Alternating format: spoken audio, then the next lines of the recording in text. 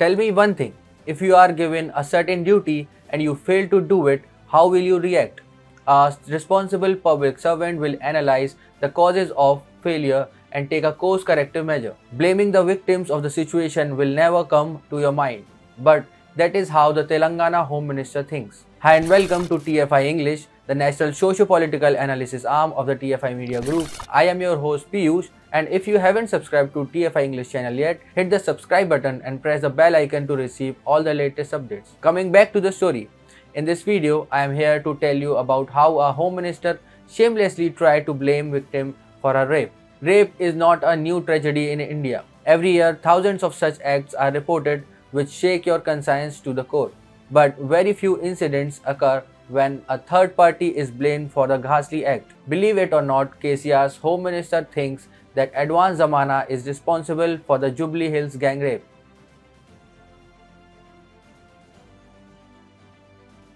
On May 28th, a teen girl was allegedly raped by five boys in Hyderabad. According to official reports, she met all five of them at a pub in the Jubilee Hills area.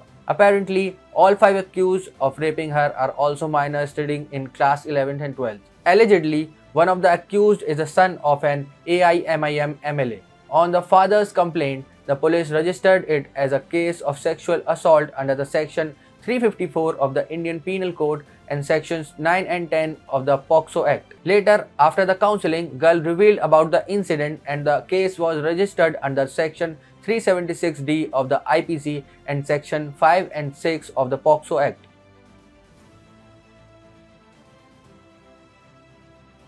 Meanwhile, Telangana Home Minister sparked an outrage when he subtly blamed the teen girl for her rape. Muhammad Mahmood Ali, the minister, was talking to the media about the delayed investigation of the case. Ali said, बगैर किसी pressure के काम करने वाली है तो Telangana police है जो भी जिसके अंदर खा, जो भी खाती करार जाते हैं पुलिस कभी भी उन्हें छोड़ती नहीं है पुलिस नहीं क्योंकि उसमें माइनर बच्चे होने की वजह से एक आध दिन आगे पीछे हुआ और हमारी पुलिस बराबर स्ट्रिक्टली वाली पुलिस तेलंगाना पुलिस है एडवांस जमाना आ चुका है कोई गलतियाँ हो रही हैं तो उसका बहुत दुख है और पुलिस ज़रूर कंट्रोल करेगी he then went on to effectively blame the victim for the crime according to him the teen girl lives during the time of advanced zamana asserting that the police will control these types of incidents he said advanced zamana aa chuka hai koi galtiyan ho rahi hain to uska bahut dukh hai aur police zarur control karegi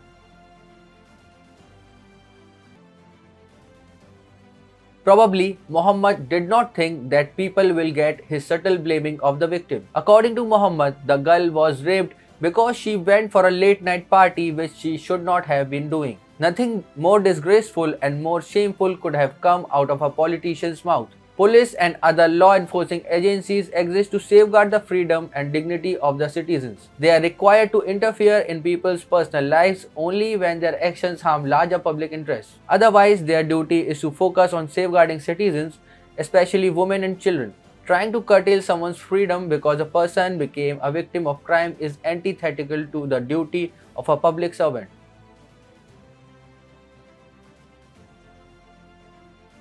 But this is not only time when Muhammad was found engaging in victim blaming. In the aftermath of the Hyderabad rape case in 2019, the Home Minister blamed the victim for the unfortunate fate she met. The victim did not trust the state machinery enough to call them in the times of need. So when she found herself in danger, she called her sister instead.